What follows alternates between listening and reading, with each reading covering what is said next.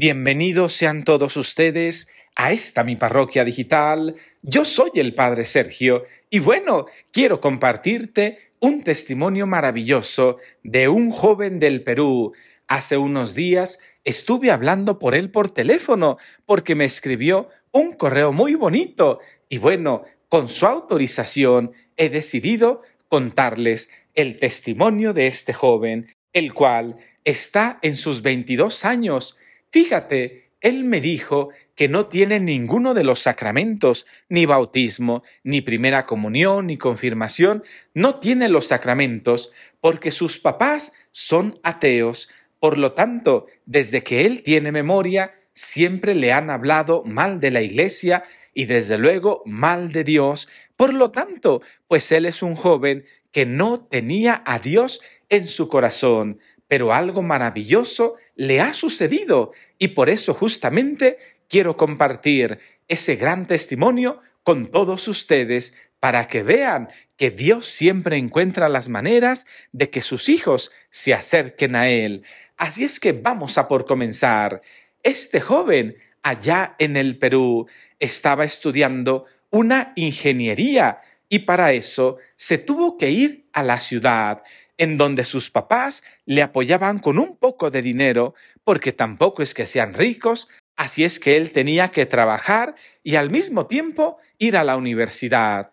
Pero lamentablemente, debido a la pandemia del coronavirus, él ya no pudo continuar en la universidad, primeramente porque estuvo cerrada durante un gran periodo, y después cuando la abrieron, él no pudo llegar al examen para la reinscripción, por lo tanto, ya no tenía lugar en la universidad y además le dijeron, tú eres un rezagado, así es que puedes volver a intentarlo, pero hasta en dos años estaba totalmente destruido este joven.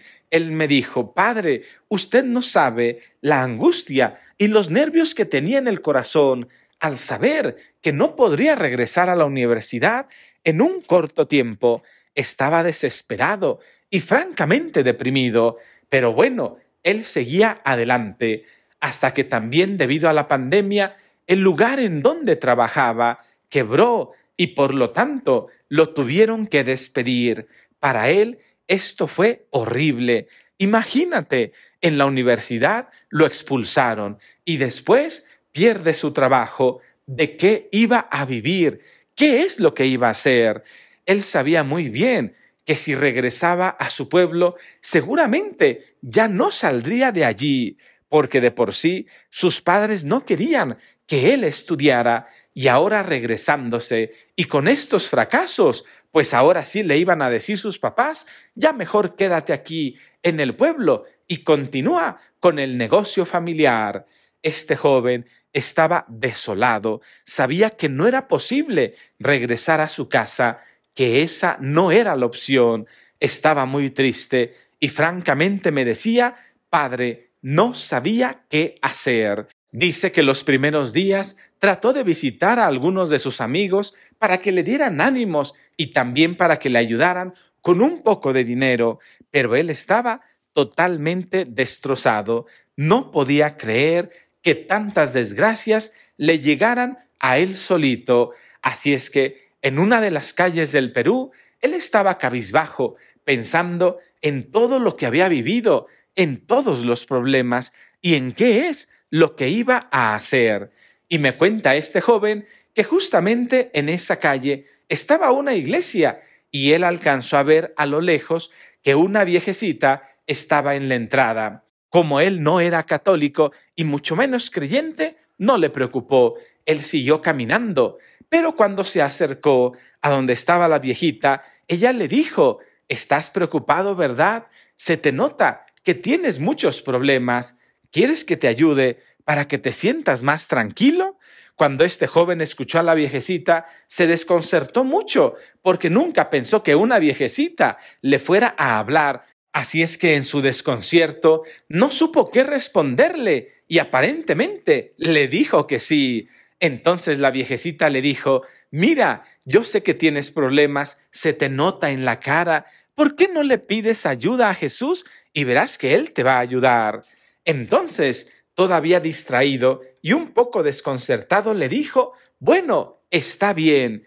Y entonces la viejecita lo tomó de la mano y lo metió a la iglesia. Imagínate, este joven me dijo, en ese momento yo dije, guay, ¿qué estoy haciendo aquí adentro? ¿Por qué le dije que sí? Yo ni creo en esta religión y en ninguna otra. Pero la viejecita era tan dulce y tan amable que dijo, bueno, la voy a escuchar, total no tengo nada que hacer, igual y me ayuda. Así es que este joven, tomado de la mano por la viejecita, se fue hasta adelante y le dijo, mira, vamos a rezar un ratito.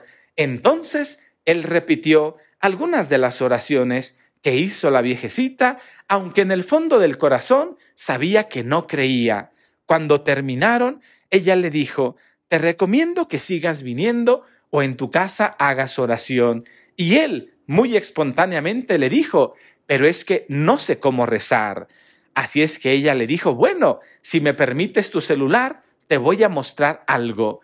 El joven le dio su celular, la viejecita abrió YouTube y se metió a la parroquia digital. Y entonces ella le dijo, mira, si no sabes cómo rezar, métete a este canal y escucha al Padre. De esa manera te va a enseñar a rezar y verás que todo va a estar bien. El joven, para no ser grosero, le dijo, sí, está muy bien, y se suscribió en ese momento. Se fue de la iglesia y llegó al lugar en donde se estaba quedando, todavía desesperado, con preocupaciones, con angustias, sin saber qué es lo que iba a hacer, se puso a ver su celular y en eso se acordó que estaba el YouTube y que la viejecita le había recomendado la parroquia digital. Así es que solo por curiosidad la abrió y encontró un evangelio en la parroquia digital. Lo escuchó. Al día siguiente escuchó el otro y al tercer día lo volvió a escuchar. Y en la parroquia digital el padre le dijo, si tienes problemas, dificultades, no te quedes solo en tu casa, en la Iglesia Católica, en tu parroquia te podemos ayudar. Ven y visítanos. Busca al sacerdote, a tu párroco, y encuentra la respuesta que tanto buscas. Este joven me dijo, Padre, estaba yo tan deprimido que necesitaba hablar con alguien. Así es que dije, bueno, aquí hay una iglesia cerca, voy a ir. Así es que se puso de pie, fue a esa iglesia y vio que prácticamente estaba vacía, pero en algún lugar estaba un señor, se acercó y le dijo, Oiga, ¿usted sabe dónde puedo encontrar al Padre? Y entonces el Señor, con una sonrisa, le dijo, Ah, pues yo soy el Padre, dime en qué puedo servirte. Imagínate, Dios le preparó todo a este joven para que se encontrara con un sacerdote. Justamente en su tiempo de crisis, de depresión y de angustia, se anima a ir a la iglesia y se encuentra con el sacerdote. Tú sabes lo difícil que es en muchas ocasiones encontrar al sacerdote, pero cómo se ve que Dios tenía preparado para este joven algo fantástico y se encuentra con el sacerdote a la primera. Así es que se sentaron a platicar y ya el joven le contó todo lo que estaba viviendo. El párroco al final le dijo, mira hijo, yo te recomiendo que vengas todos los días a la misa, que escuches la palabra de Dios y si tú decides, después te podemos dar los sacramentos, pero mientras tanto, ven a la misa todos los días y después verás que Dios te va a ayudar y yo voy a tratar de conseguirte algo. Y así lo hizo. Este joven empezó a ir todos los días a la Santa Misa. No tenía escuela, no tenía universidad, así es que él decía, pues ¿qué más hago? voy a ir a la iglesia, ese sacerdote me cayó re bien. Y allí estaba el joven en la iglesia, hasta que un día una señora joven se encuentra con él y le dice, oye, yo soy del coro y veo que tú vienes seguido a la iglesia, ¿por qué no te integras en el coro? Nos hacen falta voces. Y para esto resulta que este joven sabía tocar la guitarra, así es que le dice, está bien, se mete en el grupo del coro y empieza a cantar los sábados y los domingos con este grupo de alabanzas al Señor. Y fíjate lo que son las cosas y los milagros. Esta señora que lo invitó es esposa de una persona que tiene tiendas de abarrotes y justamente estaba buscando a un gerente, así es que la señora le dice, oye, mi esposo necesita un gerente, él tiene algunas tiendas de abarrotes, ¿estás interesado? Y este joven de inmediato le dice, sí, estoy interesado. Fue a presentarse con ese esposo, con ese señor, y le dice, mira, yo ocupo un gerente y tú tienes estudios. Si tú me garantizas que todo está bien y hay buenas ventas y buenos resultados, incluso si regresas a la universidad, puedes seguir trabajando como gerente en esta tienda. ¡Wow! Imagínate, Dios le puso el trabajo perfecto a este joven, la oportunidad de trabajar y estudiar. Estaba recontento y me decía, Padre, todas esas cosas las recibí porque Dios me las mandó. Por eso doy testimonio de eso. Imagínate ya más tranquilo, teniendo amigos en la iglesia, cantando en las santas misas y con un trabajo estable, pues ya las cosas estaban más tranquilas. Él me cuenta que en una ocasión les dijeron a todos los del coro, vamos a cantar el sábado en una boda, les vamos a cobrar y vamos a comprar algunos instrumentos. Y entonces él dijo, pues está bien, vamos a cantar ese sábado en esa boda. Y así fue. Estaban cantando en la boda e imagínate, al final de la Santa Misa, él se dio cuenta que el rector de la universidad, en donde él estaba, estaba en la Santa Misa. Allí estaba el rector. Desde luego, él no se quería acercar porque pues es solamente un estudiante, así es que no quería causar molestias, pero lo que son los caminos de Dios, al terminar la Santa Misa, cuando estaban recogiendo todos los instrumentos, resulta que nada más y nada menos el rector se acercó a ellos y les dijo, muy bien jóvenes, han cantado muy bien. Y entonces él quedó sorprendido y le dijo al rector, qué bien que le gustó. De hecho, yo estaba en la universidad, pero por la pandemia y porque no pude a completar un examen, tuve que retirarme.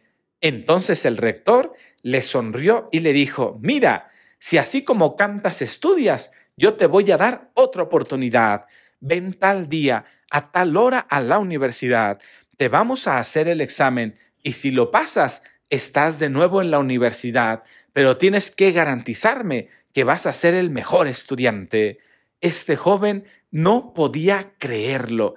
El mismo rector de la universidad, una persona prácticamente inaccesible, le estaba diciendo regresa, te vamos a hacer el examen, te vamos a reincorporar a la escuela. Él sabía muy bien que quien estaba detrás de todo eso era Dios y estaba muy contento y le daba gracias al Rey Eterno por todas las oportunidades que le estaba dando a partir de su depresión. Fue a la universidad, presentó el examen, lo pasó y pudo reincorporarse hace apenas unos días de nuevo a la universidad. Así es que comenzó a mandarme muchos correos y me decía, Padre, quiero contarle un testimonio. Y el testimonio es este. Voy a terminar con unas palabras que él mismo escribió para todos ustedes que dicen así, a mí Dios me cambió la vida, yo nací y crecí sin Dios, mis padres me hablaron muy mal de la Iglesia Católica y muy mal sobre Dios, pero ahora gracias a esa viejecita y gracias a la parroquia digital, gracias a ese sacerdote en mi parroquia, gracias al coro, gracias a que voy a la Santa Misa, tengo una vida nueva. Antes de acercarme a Dios, creí que todo estaba perdido, pero ahora me doy cuenta que es cierto, para Dios no hay imposibles. Él me cambió la vida y les comparto este testimonio para que muchos de ustedes se acerquen también a Dios y a su parroquia y se dejen también que Jesús les ayude a cambiar su vida para siempre. Atentamente, un joven del Perú. Hermano y hermana, qué maravilloso testimonio.